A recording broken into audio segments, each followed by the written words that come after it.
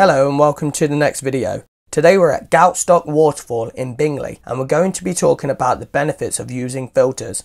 In this first shot no filter was used and at f11 a 1.3 second shutter speed was needed to get the correct exposure. This did not smooth out the water in the style that I wanted. To correct this I added an ND8 and polarizer filter. This brought down the exposure by 3 stops and reduced any unwanted reflections in the wet rock. This meant that the required shutter speed was now 2.5 seconds, smoothing out the waterfall.